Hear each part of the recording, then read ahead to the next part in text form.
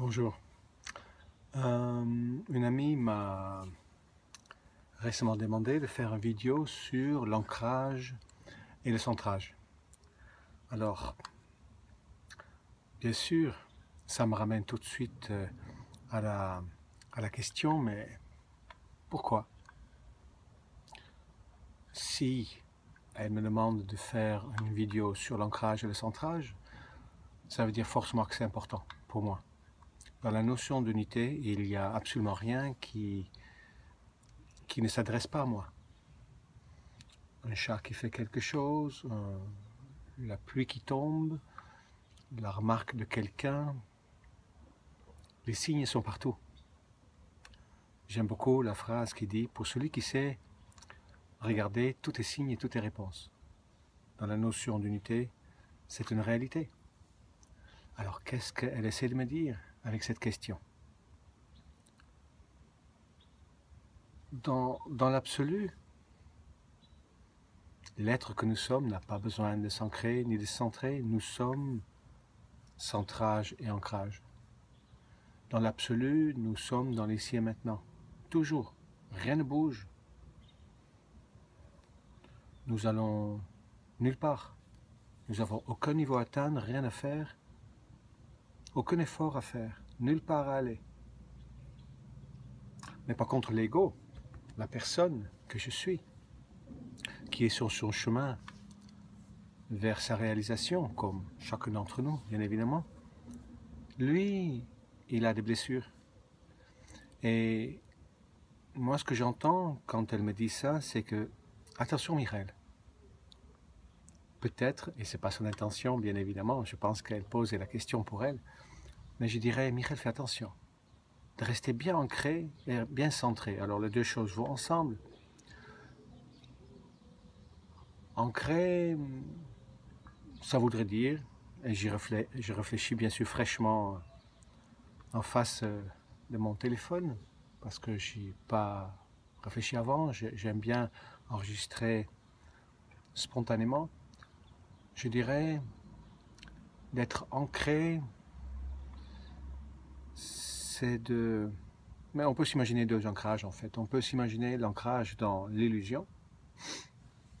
On peut s'imaginer l'ancrage dans la réalité absolue.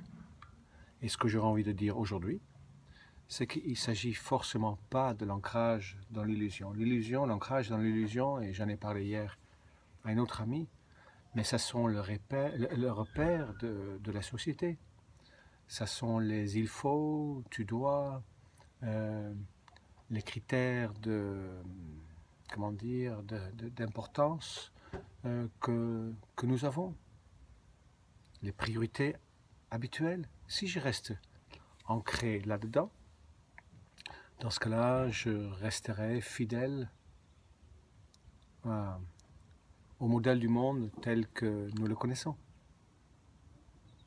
Je pense que l'ancrage réel concerne l'ancrage à, à ce que je suis vraiment.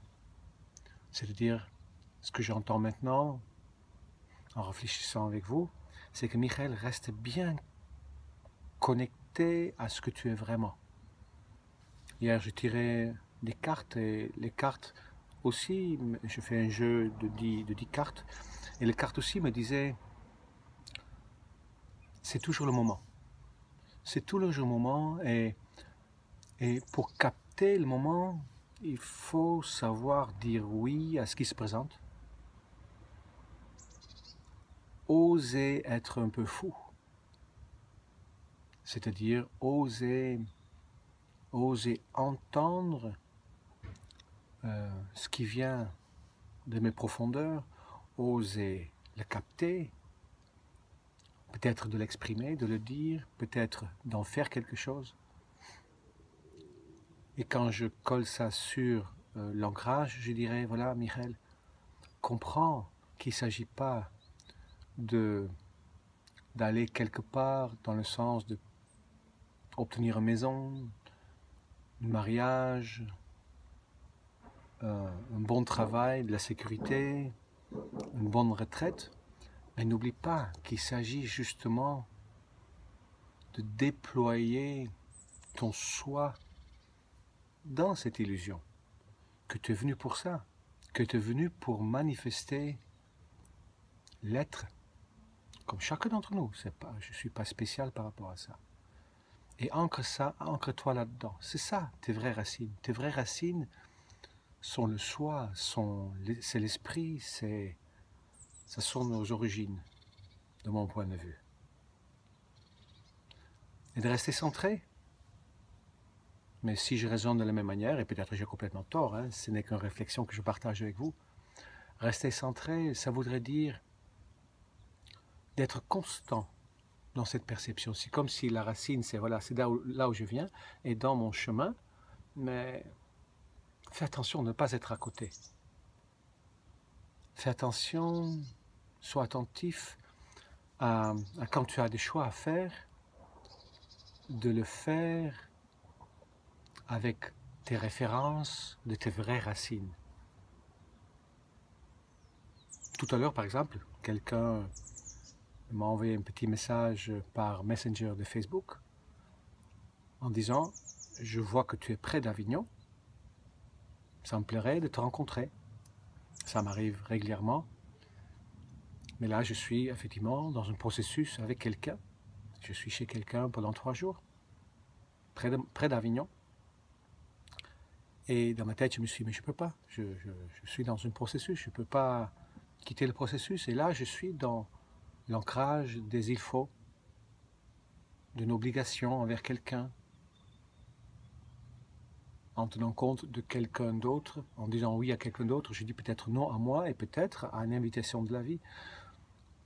Donc d'abord, je lui dis, euh, mais je suis en processus, euh, c'est un peu difficile, peut-être la prochaine fois.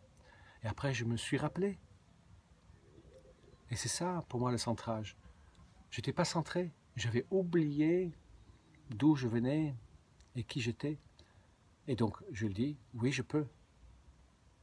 Et en disant oui, je dis oui, je peux. Et, j'ai dit, mais par contre, parce que là j'ai calculé quel est le programme à peu près de la journée, et je dis, mais vers 11h30. Et là, c'est elle qui ne pouvait pas. Mais je pense que ce style de choses sont là pour, pour m'aider à rester centré.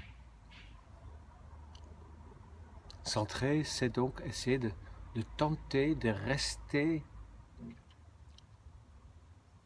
tout en faisant mon chemin dans, dans une constante par rapport à ce qui est mon cadre de référence. Et aujourd'hui, de plus en plus, mon cadre de référence n'est pas la société. La société me permet, les gens me permettent de me définir les situations me permettent de manifester qui je suis vraiment. Oui, je suis toujours avec vous, avec tout le monde. Mais comme j'ai expliqué dans l'autre vidéo, ma maison c'est devenu un sac à dos. Et toutes mes affaires se trouvent dans un sac à dos et une valise. Hmm. Mais c'est pas parce que je suis fâché avec la société, pas du tout.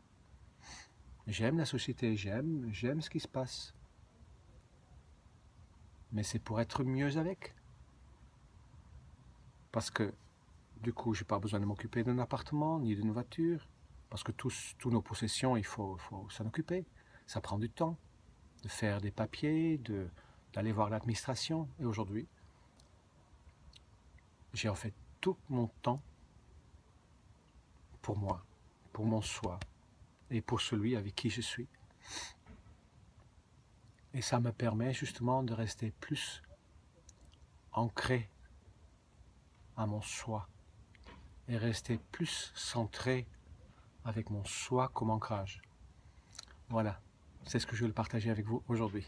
Mes vidéos sont un tout petit peu plus courtes. J'ai expliqué ça déjà, c'est qu'ils n'ont pas le droit d'être plus que 15 minutes pour l'instant, le temps que la plainte du copyright, euh, comment dire, euh, perd sa force. Hein, j'avais fait des vidéos sur les cinq blessures et il y a quelqu'un qui pensait que je faisais du plagiat pendant que je parlais juste de mon expérience. Alors, euh, et ça m'a, ça me fait comprendre aussi, je n'ai pas expliqué ça hier dans l'autre vidéo, qu'il ne s'agissait pas du copyright de cinq blessures, quand euh, j'ai eu, quand j'ai eu ça, bien sûr, au départ, je ne comprenais pas, mais j'ai compris rapidement que Michael ne copie pas. Ne fais pas comme les autres. Fais, fais comme tu fais toi.